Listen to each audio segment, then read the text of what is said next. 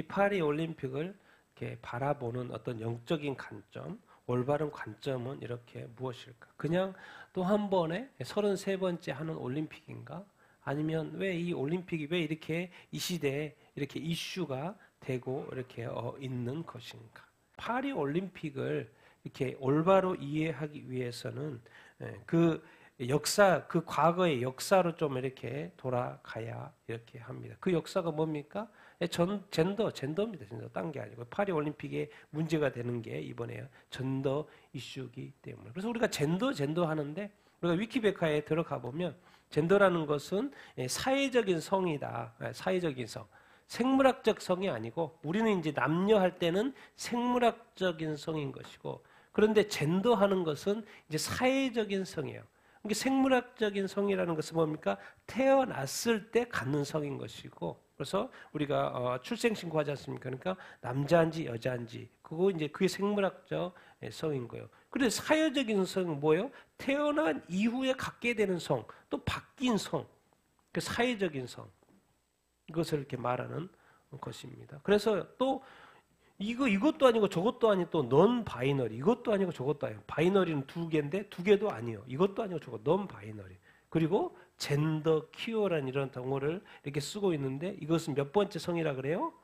보통 3의 성. 남자가 있고 여자가 이렇게 있고 거기에 또 제 3의 성이 이렇게 어 있다. 근데 이제 중요한 거 중요한 거 포인트는 아주 중요한 포인트는 이 젠더가 도대체 언제부터 이렇게 예, 이렇게 준비가 됐을까 그런 생각을 해 보면 위키비카에 이렇게 가 보면 이렇게 나옵니다.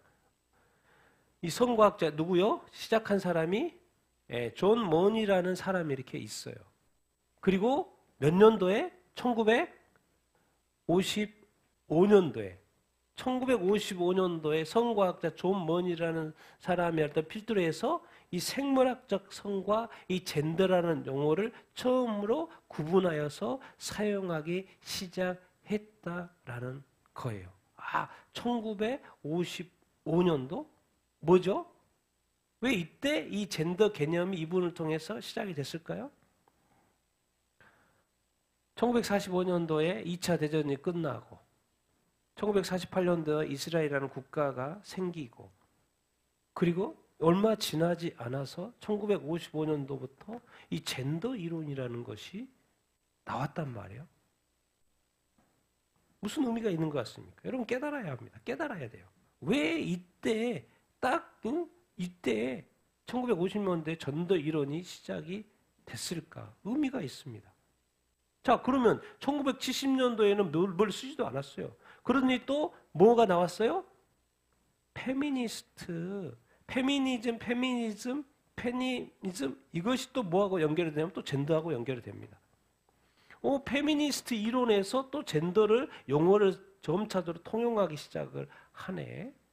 그러니까 페미니스트하고 젠더하고 연결 있어요? 안 돼요? 연결돼야 안 돼요? 연결이 되죠. 자, 그러면서 1980년대에 점점 용어가 의미, 용어의 의미가 점점 더 변화하기 시작하더니 사실 결정적인 것이 1993년도예요. 미국에서, 미국 식품의약국에서 우리가 이제 섹스 하면은 남자, 여자, 이 외국인의 개념에서는 남자, 여자입니다. 그래서 우리가 우리 어떤 뭐 이력서를 쓰기도 했던 영어 이력서는 다 섹스로 되어 있죠. 그래서 남자, 여자, 메일, 피메일. 그런 개념인데 1994년도부터 미국 식품의약국에서도 뭘 쓰기 시작을 한 거예요? 젠더라는 거. 그러니까 미국도 벌써 젠더로 표시하기 시작한 지가 몇 년이나 된 거예요? 30년이 된 거예요. 지금 30년. 하루아침에 된 게 아니라니까요. 10년도 아니고 20년도 아니고 30년이 된 거예요. 엄청나게 지금 오랜 기간 동안에 이 젠더라는 개념이 쓰인 거예요. 시작은 1955년도부터 이미 구분해서 시작을 했고 생물학적 성과 그리고 이제 미국에서 1993년도에 이 젠더를 사용하기 시작을 했는데 또 문제가 됐는지 2011년도에는 뭐요? 구분해서 생물학 적 성을 말할 때하고 젠더하고 이제 구분해서 또 같이 쓰기 시작을 했다. 이런 이 어떤 시작점 아 그리고 미국에서도 1990, 아 그래서 미국에서도 젠더를 쓰는 것이 벌써 30년이 됐구나. 그런 생각을 이제 이런 것을 우리가 이렇게 알아야 하죠. 근데 이것을 정말 이렇게 이제 어 뭐랄까 어떻게 보면 더 활성화시킨 사람 이 사람의 이름을 꼭 기억해야 하죠. 이 젠더에 기억해서 누구요? 주디스 버틀러라는 사람. 미국 사람입니다. 미국의 어떤 철학자고 무슨 이론가요? 젠더 이론가요? 젠더 이론가.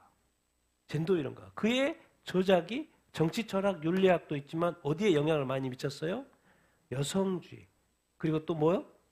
요즘에 말하는 퀴어, 퀴어, 퀴어. 쭉, 뭐는 그 매년마다 퀴어 쭉 찬다 그러잖아요. 이 퀴어의 어떤 그 핵심 역할 하는 사람이 누구예요? 주디스 버틀러라는 사람이에요. 근데 이 사람이 지금 1993년도부터 어디 대학교에서 강의했어요? 캘리포니아에서. 그러니까 캘리포니아가 아주 이, 런 이런 어떤 것에 이렇게 많이 노출된 게 다른 게 아니죠. 그 퀴어 이론과 젠더의 이론가인 주디스 버틀러가 이 캘리포니아 대학에서 강의를 했던 거예요. 그러니까 이것이 그런 어떤 영향이 뭐요? 크게 있었다라는 것을 알수 어, 이렇게 있죠. 무엇보다도 이제 그분이 쓰신 책이 있죠. 책. 젠더에 대한 인식에 도전하고 젠더 수행성 이론을 발전시킨 그의 저작 젠더 트래블과 또 bodies that matter. matter라는 건 중요한 거. 대신 이제 연결되면서 body는 몸의 복수예요. Bodies that matter라는 거예요. 중요한 몸들. 뭔가 이, 이 중요한 몸, 뭐 이렇게 남녀 이런 거 말하는 것 같지는 않죠? 예, 젠더. 이 저작이 여성과 또 현재 퀴어 연구의 중심적 역할을 하고 이렇게 있다라는 거. 그러니까 이분이 주디스 버틀러는 이 사람의 이것이 지금 우리가 큐에 축제하는 이것과 거기에 이제 시발점이라는 것을 알 수 이렇게 있어요. 근데 놀라운 것은 그냥 나옵니다. 이스라엘 정치와 이스라엘과 팔레스타인 어떤 분쟁에 대해서 이스라엘에 대해서 아주 비판적입니다. 그러니까 친팔레스타인적이라는 거죠. 누가요? 주디스 버틀러라는 사람. 이것도 사실 영적인 의미가 이렇게 어, 있습니다. 그래서 우리가 기억해야 될 것은 이 주디스 버틀러 미국에 지금도 교수를 하고 있고요. 교수를 생활을 이렇게 하고 이렇게 있고 여기에서 젠더와 큐어, 가또 이렇게 활성화됐구나라는 이런 어, 생각을 우리가 가져야 어, 이렇게 합니다. 일반 우리가 알아야 합니다. 젠더는 뭐예요? 반성경적입니다. 하나님이 남자와 여자로 만들었죠. 그런데 이 젠더라는 것이 1955년도부터 본격적으로 쓰이기 시작을 한단 말이에요. 사람들에게 쓰이기 시작한단 말이에요. 그 말이 뭔 말입니까? 그때부터 반성경적인 젠더 이론. 그럼 왜 그때 생긴 거예요? 왜? 의도적이라는 거죠. 누구의 의도? 악한 마귀의 의도. 악한 마귀가 이 반성경적인 것을 뭐요? 이 세상에 퍼뜨리기 위해서 이 전도 이론이 나온 거예요. 그래서 전도를 너무 쉽게 생각하면 안 됩니다. 영적인 관점에서 봤을 때 젠더 이론은 성경에서 없는 거예요. 아니 어떻게 보면 성경에서 죄라고 지정한 것이죠. 근데 그것이 사회 전반에 퍼지기 시작한 거. 이것을 어찌 한 사람이 어떤 뭐 책 하나 쓰고 뭐 이렇게 구분하기 시작을 했다고 그래서 뭐 그렇다라고는 어떤 그런 사실이겠습니까? 영적인 관점에서는 엄청나게 큰 의도적 의도성이 이렇게 있는 것이고 계획이 있는 것이라는 것을 그리고 또 하나님을 대적하는 그럼 이, 이 파급 효과 파급 효과가 뭐냐 이거예요. 이게 바로 2000년대에 와서 동성결혼 합법화예요. 그래서 2024 최근까지 제가 찾아보니까 가장 최근까지 이렇게 표가 나와 있더라고요. 2024년도까지 39개 나라가 근데 놀라운 것은 뭐냐면 왜 젠더가 왜 이 반성경적이냐는 것을 이 지도를 보면 돼요. 그냥 이거 정말 이 젠더가 합법화된 나라는 대부분 뭐 어느 나라예요? 기독교 국가예요. 그러니까 이 땅에 교회를 무너뜨리기 위해서 반성경적인 젠더가 만들어진 거예요. 그리고 이것이 합법화된 나라는 다 어느 나라요? 기독교 국가예요. 놀랍게도. 아프리카는 좀 가난하고 순수하게 믿어. 그래서 아프리카는 그나마 어? 없어요. 기독교 국가, 미국, 캐나다, 그리고 밑에 남미, 여기는 카톨릭 국가죠. 이슬람교, 어, 이거 처벌됩니다. 죽어요, 죽어요. 사형이에요, 사형. 힌두교 안 돼요.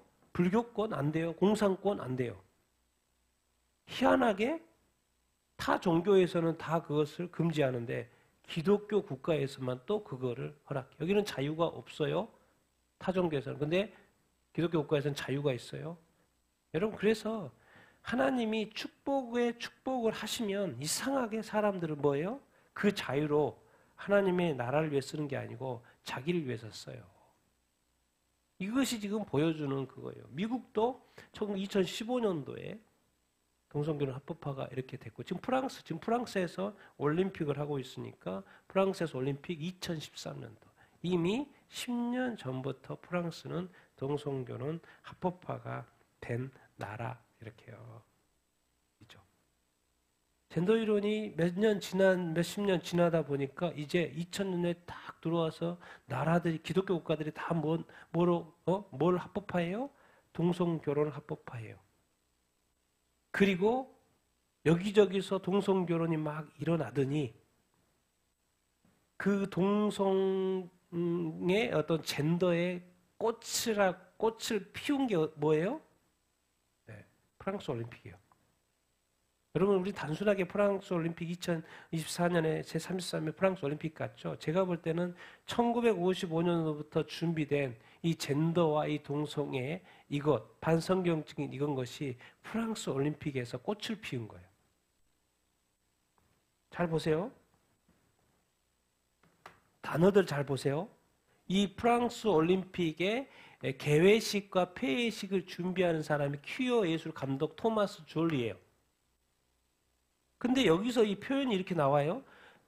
7월 26일 날 올림픽 개회식 있었죠?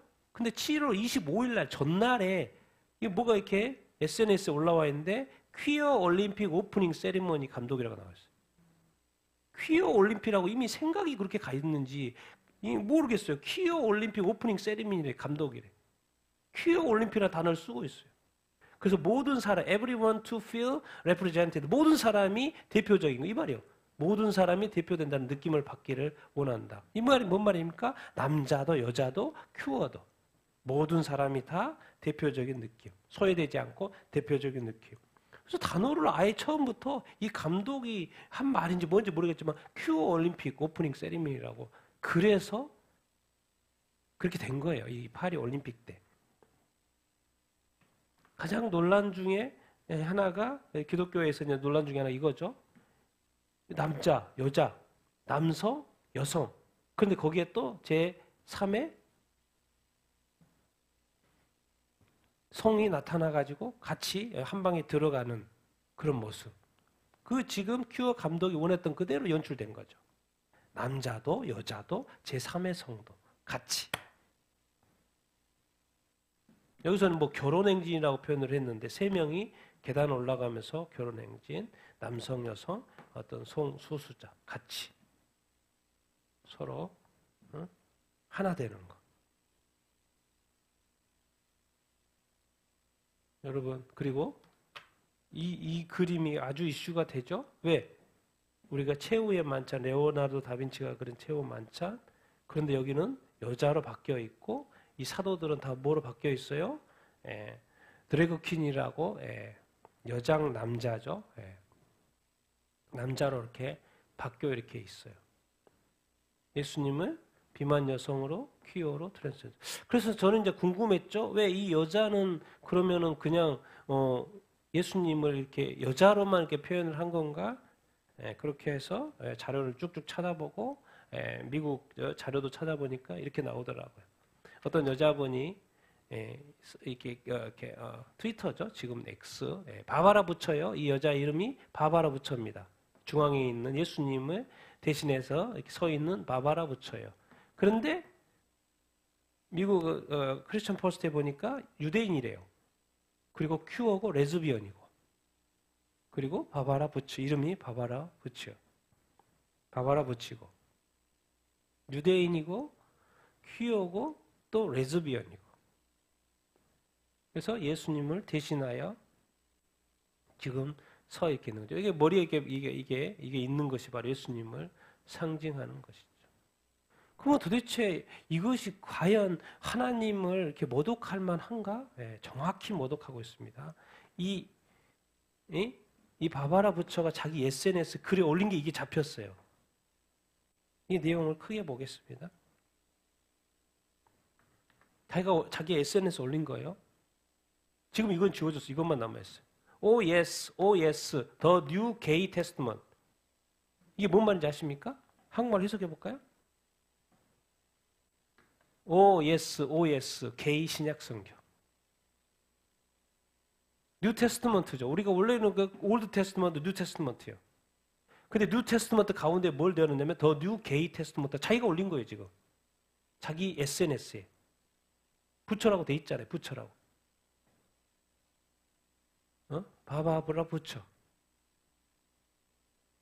그러니까 지금 여기에 이 의도는 뭐냐면 알고 섰던 거죠. 알고 이 예수님의 역할을 한 거예요. 그리고 이제 무슨 시대가 열린 거예요? 새로운 시대. 게이 성경책. 이게 바로 신성모독이라는 거죠. 예수님을 그렇게 표현하는 것도 큰 일이고 그리고 또 뭐요? 지금 성경 말씀을 가지고 New Testament가 게이트 New Gay New Testament라고 지금 표현을 하고 있어요. 그래서 이게 문제가 되니까 이렇게 바꿨어요. 또 의도가 또 나타나죠. The New, the feast of the gods. 신들의 축제였다. 신들의 축제였다. 이거는.